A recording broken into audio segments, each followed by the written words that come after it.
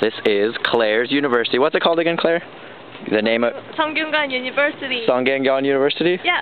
Oh. Uh, and pretty much overlooks a lot of Seoul. That's where I live, over there. Yeah. Way over there in Jeonggae. In Jeonggae. Jeonggae. And then um, you can't see it, but I don't think in the video, but on top of that mountain is Seoul Tower. And on the other side of the river is, or the other side of the mountain is the Han River. So like on a map, you can see how big Seoul is. And then this is downtown Seoul.